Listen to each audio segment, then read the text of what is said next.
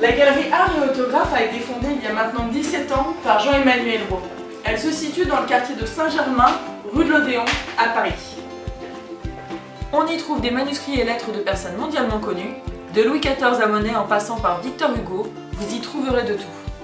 Depuis trois ans, nous nous tournons vers l'art pictural. Nous possédons des œuvres de différents médias, des dessins, des aquarelles, des huiles sur toile.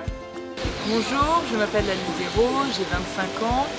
Après avoir fait une école de marché de l'art à Paris, j'ai fait une école et un master en commerce international pour le développement d'entreprise. Actuellement, je travaille à la galerie Art et Autographe. Je développe la partie art.fr, c'est notre site consacré vraiment aux œuvres picturales. Je présente des œuvres à mes clients qui sont pour moi des œuvres qui émettent énormément d'émotion, de dynamisme.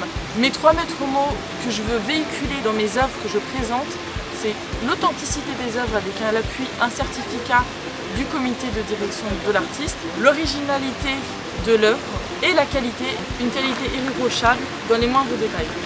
Toutes nos œuvres sont disponibles sur notre site internet art.fr.